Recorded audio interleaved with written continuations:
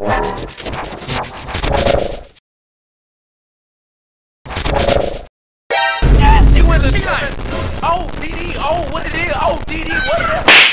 உங்கள் வாழ்க்கையில் வந்து ஒரு பொண்ணு செட் ஆகிறது ரொம்ப கஷ்டம். பொண்ணு செட் ஆகிறது ரொம்ப கஷ்டம்னு நிறைய பேர் சொல்லி நான் கேட்டிருக்கேன். ஆனால் ஒரு பொண்ணு கூட என் லைஃப்பில் ஈஸியாக செட் ஆயிடுச்சு. ஆனால் ஒரு ஹேர் ஸ்டைல் எனக்கு செட் ஆக மாட்டேங்குது.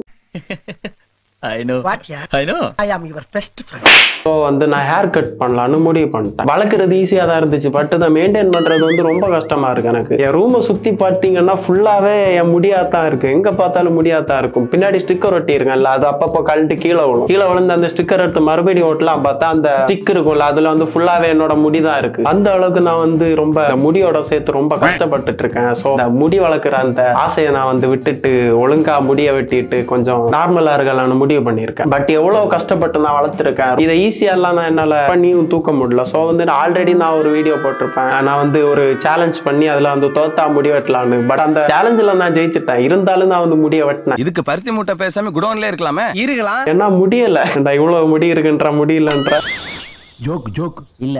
ஸோ வந்து என்ன சேலஞ்சுனா நான் வந்து ஒரு கேம் ஆடி அந்த கேம்ல வந்து நான் தோத்துட்டேன். இந்த சேலஞ்சை முடிக்க முடியலன்னா நான் வந்து ஹேர் கட் பண்ணிடுறேன் அப்படின்னு ஒரு இப்போ வந்து என்ன கேம்னா இப்போ வந்து என்ன கேம்னு நான் கொஞ்சம் யோசிச்சுட்டு இருந்தப்போ வந்து ஒலிம்பிக் ட்ரெண்ட் ஆயிட்டு இருந்துச்சு. ஸோ நான் வந்து சின்ன வயசுல வீடியோ கேம் ஆடிருக்கேன் வீடியோ கேம்ல வந்து அந்த ஒலிம்பிக்ஸ்னு ஒரு கேம் இருக்கும். அது வந்து நல்லா இருந்துச்சு. ஸோ வந்து அதே மாதிரி கேம் இருக்கான்னு நான் வந்து பிளே ஸ்டோர்ல பார்த்தா ஒரு த்ரீ டி கேம் இருந்துச்சு. ஆனால் ஆனா வீடியோ கேம்ல விளாண்டது டூ டி கேம் அதுவே நல்லா இருந்துச்சு. ஸோ வந்து த்ரீ டி கேம் இருக்கே. சரி இதே ஆடும் அப்படின்னு வந்தேன். ஸோ இந்த சேலஞ்சை வந்து வின் பண்ணி முடி வளர்க்குறேனா இல்லை தோத்துட்டு முடிய வெட்டுறேனா அதான் இந்த வீடியோ வெல்கம் பேக் டு சாட்டிவர்ஸ் ஸோ வந்து ஒலிம்பிக் பற்றி நிறைய பேருக்கு தெரிஞ்சிருக்க வாய்ப்பு இருக்கு. அதனால நான் சொல்ல வேண்டிய தேவையில்லை. அது உள்ள வந்து நிறைய ஸ்போர்ட்ஸ் இருக்கும். நிறைய கண்ட்ரி வந்து விளையாடும். நிறைய கண்ட்ரி விளையாடி எந்த கண்ட்ரி நிறைய மெடல் வச்சிருக்காங்க அப்படின்னு ஒரு போட்டி நடக்கும். அதான் வந்து ஒலிம்பிக்ஸ் ஸோ வந்து ஒலிம்பிக்ஸ் கோ அப்படின்னு ஒரு கேம் வந்து பிளே ஸ்டோரில் பார்த்தேன். அந்த பிளே ஸ்டோரில் பார்த்த கேமை உடனே டவுன்லோடும் பண்ணிட்டேன். டவுன்லோட் பண்ணிட்டு உங்கள் முன்னாடி விளையாடலான்னு வந்து நின்றுருக்கேன். ஸோ வந்து கேமுக்குள்ளே போகலாம் இது உள்ள பன்னெண்டு கேம் இருக்குன்னு போட்டிருந்துச்சு. பட் என்னென்ன கேம்னு தெரில ரியல் லைஃப் ஒலிம்பிக்கில் என்னென்ன கேம் இருக்குன்னு எனக்கு இன்னும் தெரில ஒன்றும் தெரியாது. மண்ணு யாரா அவன் புதுசா இருக்கான்னு நினைச்சு ஷாக்கா இருப்பீங்கல்ல? அப்படிதான். நான் வந்து ஷேவ் பண்ண மீசை எடுத்தேன் நான் ஒரு மாதிரி இருப்பேன். இந்த தாடி எடுத்தேன் இன்னொரு மாதிரி இருப்பேன். நான் வந்து டிஃப்ரெண்ட் கெட்டப்ல சொல்ல போனா விக்ரம் விட அதிகமா கெட்டப் போடுறது நானா தான் இருப்பேன். ஸோ இதான் இந்த game welcome to Paris two thousand twenty four Olympic games first நம்ம எந்த கண்ட்ரின்னு சூஸ் பண்ணிக்கணும். எந்த கண்ட்ரின்னா நம்ம வந்து இந்தியா. அவரை நேம் சூஸ் பண்ணிக்கணும். நேம் வந்து நம்ம எப்போவுமே சேனல் நேம் தான் கொடுப்போம். வந்து இந்த கேமில் வந்து பன்னெண்டு கேம் இருக்கும். பன்னெண்டு கேம்லேயே வந்து நான் மெடல் அடிச்சிட்டேன்னா நான் வந்து முடிய வளர்த்துக்கலாம். இதுவே நான் ஒரு மெடல் நான் அடிக்க மிஸ் பண்ணிட்டேன்னு வச்சுக்கோங்க. நான் வந்து முடிய வெட்டுவேன். டைட்டிலில் வந்து முடிய மொட்டை அடிப்பேன் அப்படி போட்டிருப்பேன். ஆனால் வந்து நான் மொட்டை எல்லாம் அடிக்க மாட்டேன். நான் மொட்டை அடிக்காததுக்கு ரீசனும் இருக்கு. என் மண்டை வந்து மேடு பள்ளம் நிறைந்தது. எப்படின்னா வந்து அந்த ஹில் கிளைம் ரேஸ் இருக்கும்ல அந்த கேமில் வர மாதிரி என் மண்டை வந்து ஏறி இறங்கி ஏறி இறங்கி இருக்கும். ஸோ வந்து மொட்டை அடிக்கிறது ரொம்ப கஷ்டம். ஸோ வந்து நான் முடியே வெட்டிக்கிறேன். இந்த கேமில் வந்து என்னென்ன ஸ்போர்ட்ஸ் இருக்குன்னு பார்த்தீங்கன்னா அத்லெட்டிக்ஸ் இருக்குது அப்புறம் வந்து ஆர்ச்சரி இருக்குது ஃபீன்சிங் இருக்குது ஃபீன்சிங்னா கத்தி சண்டை கத்தி சண்டை. அப்புறம் ஷூட்டிங் இருக்கு பாஸ்கெட் பால் இருக்கு அப்புறம் வந்து பிரேக்கிங் இருக்கு. பிரேக்கிங்னா பிரேக் டான்ஸ் இருக்கும்ல அந்த இது. அப்புறம் வந்து ஸ்கேட் போர்டிங் இருக்கு ரோவிங் இருக்கு போட் ஓட்டுற போட்டி. அப்புறம் வந்து ஸ்விம்மிங் இருக்கு சைக்கிளிங் இருக்கு ஜிம்னாஸ்டிக் இருக்கு. இதுல எல்லாத்துலயும் நான் வின் பண்ணி கோல்டு மெடல் அடிச்சேன்னா நான் வந்து முடி வெட்ட மாட்டேன். ஒண்ணுல மிஸ் ஆனா கூட வீடியோ முடிஞ்சு போயிடும் அவ்வளவுதான். ஹேர் ஸ்டைல வரேன். டிஆர் மாதிரி. ஓகே நம்ம கேம் உள்ள போறோம். Tap to quickly to run fast okay எனக்கு தெரியும் நீ மூடு. வந்து குவார்டர் ஃபைனல் மூணு ரவுண்ட் இருக்கும்னு நினைக்கிறேன். Quarter final semi final final மொத்த கிளாஸ்ல அப்படிதான் பண்ணணும் お前はもう死んでいる。何 ஸோ வந்து குவார்ட்டர் ஃபைனல் வின் பண்ணிட்டேன் இது வந்து செமி ஃபைனல் ஐயோ டூ ஃபாஸ்ட்டாக ஓடக்கூடாதா ஸோ அந்த செமி ஃபைனல் வின் பண்ணிட்டேன். இன்னும் ரொம்ப ஈஸியாக இருக்கு. ஈஸியாக இருக்கிறது இது வந்து ஃபைனல்ஸ் ஃபைனல்ஸில் வின் பண்ணிட்டேன்னா எனக்கு வந்து கோல்டு மெடல் கொடுப்பாங்க.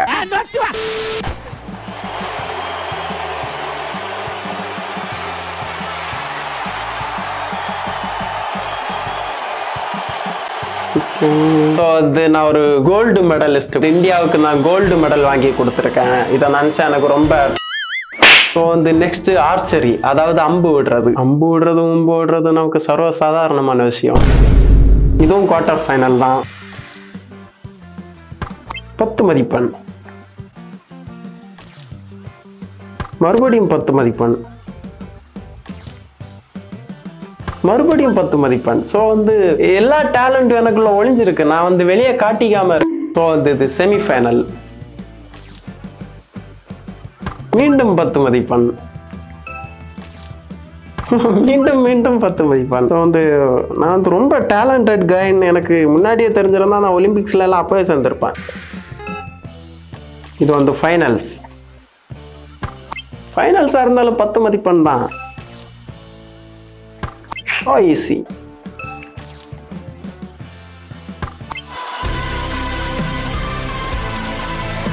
நீ பாராட்டலாமே ஃப்ரெண்ட்ஸ் அப்புறம் வந்து ரெண்டாவது கோல்டு மெடலும் நான் அடிச்சிட்டேன் இந்தியாவுக்கு வந்து நான் ரெண்டு கோல்டு மெடல் வாங்கி கொடுத்துருக்கேன். ஸோ வந்து நெக்ஸ்ட் கேம் வந்து ஃபென்சிங் ஃபென்சிங்னா கத்தி சண்டை. இங்கேயும் கத்தி சண்டையா? உங்கள் அபிமான கத்தி சண்டை இப்பொழுது ஆரம்பமாக போகிறது. இதோட ரூல் எப்படின்னா அந்த லைனு கோழியை வந்து தள்ளி விடணும். குத்தி குத்தி லைனு கோழியை விட்டோம்னா நம்ம வந்து வின் அதான் இதோட ரூல் நம்ம பார்க்காத கத்தி சண்டை.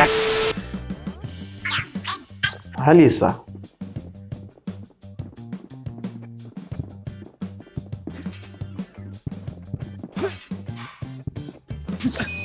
ஃபர்ஸ்ட் ரவுண்ட்ல வின் பண்ணிட்டேன். குவார்டர் ஃபைனல் வந்து வின் பண்ணிட்டேன்.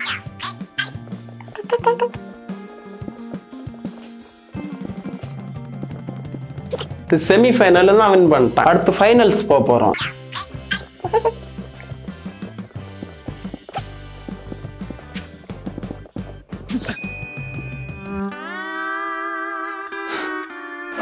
வந்து இந்த கத்தி சண்டை நான் தோத்து போயிட்டேன். கோல்டு மெடல் அடிக்க முடியல. வந்து நான் முடிவட்ட போறது கன்ஃபார்ம் ஆயிடுச்சு. ஸோ இந்த வீடியோ வந்து முடிச்சுக்கலாம். நான் வந்து ரொம்ப நாள் டஃப் கொடுத்து விளையாடுவோம் அப்படின்னு நினச்சதான் இந்த கேமை சூஸ் பண்ணேன். பார்த்தா வந்து ஒட்டுன்னு போயிடுச்சு. எதுக்காக இந்த கேம் சூஸ் பண்ணேன்னு பார்த்தீங்கன்னா மீம் பேஜ்ல எல்லாம் மீம் போடுவானுங்க. அந்த மீம் போ ஒவ்வொரு போஸ்ட்லயும் வந்து கமெண்ட் பண்றானுங்க. என்ன மீம் போட்டாலும் வந்து கமெண்ட் பண்றானுங்க. ஒலிம்பிக்ல வந்து இந்தியா இவ்வளோ இடத்துல இருக்கு. ஒலிம்பிக்ல வந்து ஒலிம்பிக் பாருங்க. ஒலிம்பிக் பார்க்காம என்ன மீம் போட்டுட்டு இருக்கீங்க? ஒலிம்பிக் தான். ஒலிம்பிக் ஒலிம்பிக் எங்க பார்த்தாலும் மொத்தமா எல்லா இடத்துலயும் ஒலிம்பிக் சொல்ல போனா இந்தியா இந்தியால இருந்துட்டு ஒலிம்பிக் பார்க்க தேவையில்லை. ஆள் எதுக்கு ஒலிம்பிக் பார்க்கணும் இந்தியால இருந்து? ஒலிம்பிக் ஏதாவது ஒரு முக்கியத்துவம் கொடுக்குறாங்களா இந்தியால இருந்து? இல்ல இந்த கிரிக்கெட்டுக்கு கொடுக்குற அந்த இது கூட மத்த எந்த ஸ்போர்ட்ஸுக்குமே கொடுக்க மாட்டானுங்க ஒலிம்பிக்ல எவ்வளவு கேம் இருக்கு? எதுல எதுவுமே. இப்போ இப்போ கூட பார்த்தா இந்தியா வந்து 57வது இடத்துல தான் இருக்கு. ஃபர்ஸ்ட் ஒரு கோல்டு மெடல் கூட அடிக்கல. பிரான்ஸ் மெடல் மட்டும் தான் வச்சிருக்காங்க. அவங்க அவங்க அசால்ட்டா வந்து மெடல் அடிச்சுட்டு போறாங்க. ஆனா இந்தியாவில் ஒரு மெடல் அடிக்க முடியலன்னு நினைக்கும் போது கவர்மெண்ட்டே அந்த ஒவ்வொரு ஸ்கூல்லையும் வந்து இதை பண்ணணும் இந்த ஸ்போர்ட்ஸ் இருக்கணும்னு சொல்லியிருந்தா அந்தந்த காலத்தில் வந்து நிறைய பேர் வந்து இந்த ஸ்போர்ட்ஸில் இன்ட்ரெஸ்ட் காட்டி இப்போ வந்து இந்நேரம் வந்து நிறைய மேபி ஒலிம்பிக்ல போய் மெடல் அடிக்கிற அளவுக்கு போயிருப்பாங்க. பண்ணாமல் இருக்க காரணம் கவர்மெண்ட் தான். எதுக்கு எடுத்தாலும் தான் கவர்மெண்ட் தான் பிளேம் பண்ணுவேன். அப்படித்தான்டா பேசுவேன்.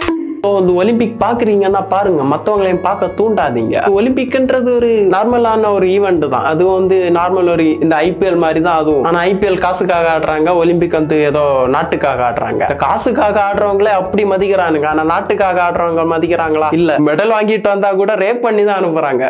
ஹலோ கைஸ் நான் வந்து இதை இதை சொல்லிட்டு ரெக்ரெட் பண்ணேன். எதுக்கு நான் இதை சொன்னேன்? தேவையில்லாமல் இது தேவைப்படல இந்த இடத்துல. எதுக்கு சொல்லணும் அப்படின்னு யோசிச்சேன். அப்புறம் தான் ரெண்டு நாள் கழிச்சு ஒரு நியூஸ் வருது. இந்த வினேஷ் போகத் அப்படின்ற ஒரு ரெஸ்லர் வந்து இவங்க வந்து டிஸ்குவாலிஃபை பண்ணுறாங்க இவங்கள ஏதோ வெயிட் அதிகமாக இருக்குது நூறு கிராம் அதிகமாக இருக்காங்க. ஸோ ஐம்பது கிலோ வெயிட்டில் ஆட முடியாது அப்படின்னு இவங்களை டிஸ்குவாலிஃபை பண்ணுறாங்க இது வந்து எப்படி இருக்குன்னா இவ்வளோ நாள் கண்ணை கட்டிட்டு ஒலிம்பிக்ஸ் பார்த்துட்டு திடீர்னு வந்து கண்ணை திறந்து பார்த்து இவங்க நூறு கிராம் அதிகமாக இருக்காங்க அப்படின்னு சொல்கிற மாதிரி இருக்கு. எதனால் குவாலிஃபை பண்றாங்க. ஒருவேளை ஒலிம்பிக் கமிட்டி தான் பண்ணிச்சு அப்படின்னே வச்சுப்போம். அப்படியே ஒரு நாலஞ்சு மாசம் முன்னாடி போனீங்கன்னா ஒரு ரெஸ்லர்ஸ் இருப்பாங்கல்ல அந்த லேடி ரெஸ்லர்ஸ்லாம் வந்துட்டு ஒரு செக்ஷுவல் அசால்ட்டு ஆளாகிறாங்க யார்கிட்ட வந்து ஒரு ஆளுங்கட்சியோட அதாவது ஆளுங்கட்சியோட ஒலிம்பிக் இந்தியன் கமிட்டி பிரசிடென்ட் அந்த மாதிரி இருப்பாங்கல்ல அந்த ஆள்கிட்ட வந்து இவங்க செக்ஷுவல் அசால்ட் வந்து எதிர்கொள்றாங்க. ஸோ வந்து இவங்கள வந்து அவங்க வந்து போராடுறாங்க. அவங்க வந்து கேஸ் போட்டு போராடுறாங்க.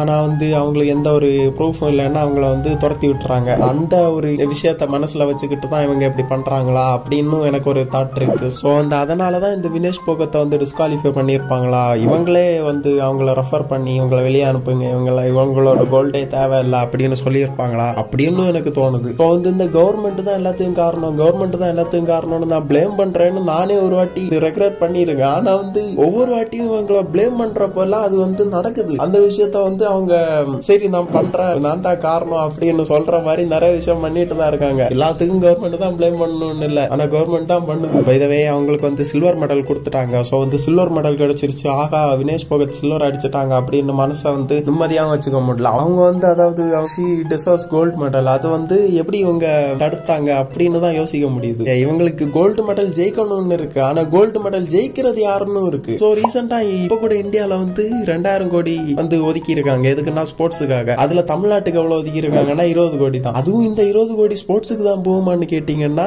சொல்ல முடியாது. அது எந்த தெருமுனையில கலைஞர் சிலையா இருக்குன்னு தெரியாது. ஸோ நான் என்ன சொல்ல வரேன்னா இங்க கொடுக்கறதே ஒரு முப்பது நிமிஷம் அந்த பிடி பீரியட்னு ஆனா ஆசைப்படுறது கோல்டு மெடல் ஸோ இந்த ஸ்போர்ட்ஸை ஸ்போர்ட்ஸாக பார்க்க சொல்லிட்டு ஸ்போர்ட்ஸை ஸ்போர்ட்ஸாகவே பார்க்க மாட்டானுங்க. ஏதோ பிஸ்னஸ் மாதிரி தான் பார்த்துட்டு இருக்கானுங்க. நான் என்ன சொல்ல வரேன்னா எல்லா கேமும் எல்லா ஸ்போர்ட்ஸுக்கும் நீ ஒரு ஈக்குவலான ஒரு ப்ரையாரிட்டி கொடுத்தேன்னா எ- எவனுக்கு என்ன வரும்னு யாருக்குமே தெரியாது. அவன் அவன் என்னென்ன அவனுக்கு டேலண்ட் இருக்குன்னு ப்ரூவ் பண்ணி மேலே வந்துருவான். ஸோ வந்து இந்த ஃபுட்பால் இருக்குல்ல ஃபுட்பால் எப்படிப்பட்ட கேம் தெரியுமா? அதை வந்து தமிழ்நாட்டில் ஃபுட்பால் எல்லாம் இன்னொன்னா அவன் ரவுடி பையன் சொல்ற அளவுக்கு ஆயிடுச்சு. இதுவே கேரளால பாருங்க இந்த கிரிக்கெட்லாம் வாரம் தள்ளிட்டாங்க. கேரளால போயிட்டீங்கன்னா அங்க ஃபுட்பால் தான் மெயின் அந்த மாதிரி ஒரு நிலைமை வந்துருச்சு. ஆனா தமிழ்நாட்டில் பாருங்க ரவுடி பையன்றாங்க.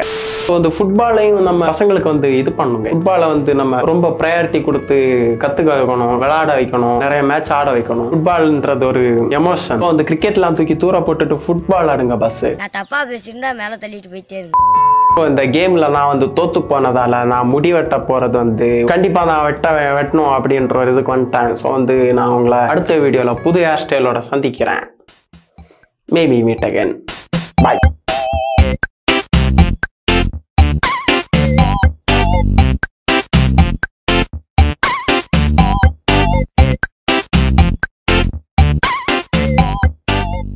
நான் இன்ஸ்டாகிராமில் ஒரு ஸ்டோரி போட்டிருந்தேன் கொஸ்டின் மாதிரி. எந்த ஹேர் கட் பண்ணால் நல்லா இருக்கும் அந்த ஹேர் ஸ்டைலை வந்து சொல்லுங்க அப்படின்னு தான் ஒரு கேள்வி கேட்டிருந்தேன். அதுக்கு வந்து நிறைய பேர் ரிப்ளை பண்ணியிருந்தாங்க. ஒரு ஹேர் கட்டுக்கு நிறைய சொல்லியிருக்காங்க. இந்த ஹேர் கட்டை தான் பண்ணலான் இருக்கேன். வந்து அந்த ஹேர் கட் ஸ்டைல்லாம் உங்களுக்கு நான் காட்ட போறேன். கொரியன் ஆல்ரெடி இதோ கொரியன் மாதிரி ஆயிட்டேன். முடி மட்டும் கொஞ்சம் இது பண்ணிட்டு ட்ரெஸ்ஸும் கொஞ்சம் மாத்திட்டேன்னா நான் வந்து ஃபுல் கொரியன் ஆயிருவேன். கொரியன் ஆகுறது பிரச்சனை இல்லை. கமெண்ட்ல வந்து கழுவி ஊத்துவானுங்க கேன்ட்டு அதெல்லாம் நமக்கு தேவையில்ல.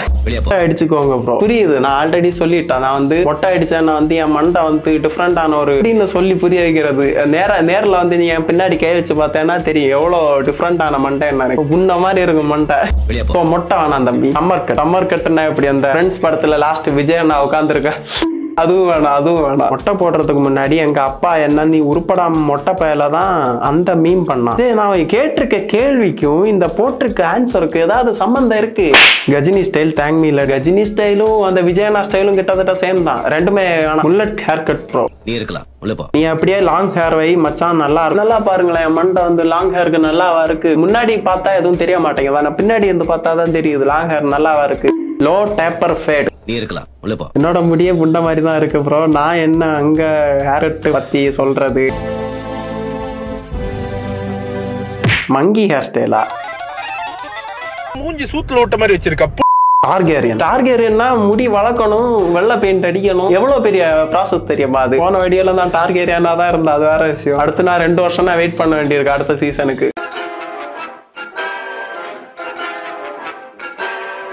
ட்ரை பிள்ளைங்க ஹேர் ஸ்டைல் வெட்டிடுவோமா மொட்டை போட்டு பால் மொட்டை.